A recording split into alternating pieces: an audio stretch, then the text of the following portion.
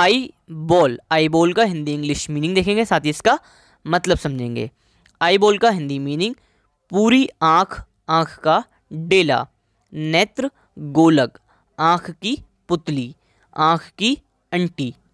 Eye ball का English meaning, the whole of your eye, including the part which is hidden inside the head. जैसा कि आप picture में देख पा रहे होंगे और आसानी से समझ पा रहे होंगे। आई बोल वो सफ़ेद हिस्सा और किसी का बीच में काला या भूरा या किसी और रंग का हिस्सा भी जो होता है।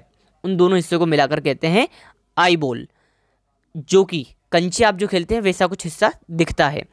उस हिस्से को कहते हैं आई बोल। आई बोल इस वर्ड को इंग्लिश के किसी सेंटेंस में यूज़ कीजिए और कमेंट बॉक्स में उस सेंटेंस को शेयर कीजिए। साथ ही इस चैनल को सब्सक्राइब कीजिए वीडियो को लाइक कीजिए शेयर कीजिए। Thank you have nice day bye bye take care मिलते हैं नेक्स्ट वीडियो में।